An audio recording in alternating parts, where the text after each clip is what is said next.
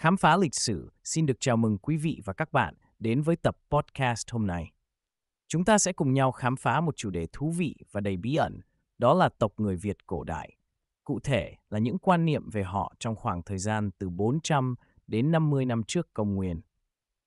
Quý vị đã bao giờ tự hỏi, người xưa nghĩ gì về những tộc người khác biệt với họ? Họ nhìn nhận những tộc người này như những người ngang hàng, hay xem họ là những kẻ man dợ? Câu chuyện về tộc người Việt cổ sẽ phần nào hé lộ cho chúng ta câu trả lời. Theo các tài liệu lịch sử, có rất nhiều quan điểm khác nhau về tộc người Việt. Vậy tộc người nào thực sự gắn liền với cái tên Việt?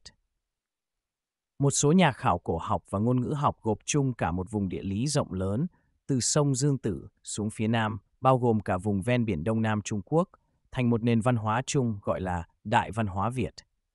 Họ cho rằng người Việt là cư dân ven biển và làm nông nghiệp lúa nước.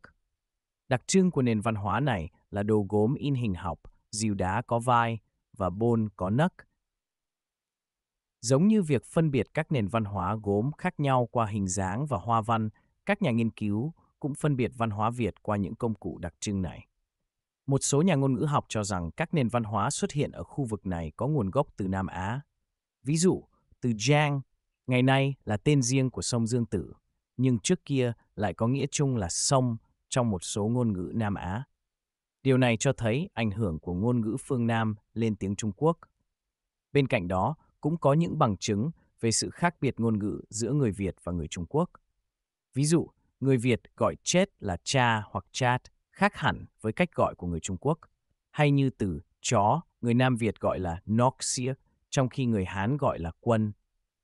Tuy nhiên, các bạn cần lưu ý rằng những đặc điểm văn hóa hoặc ngôn ngữ chung không đồng nghĩa với với việc tất cả các nhóm người trong khu vực đều thuộc cùng một tộc người.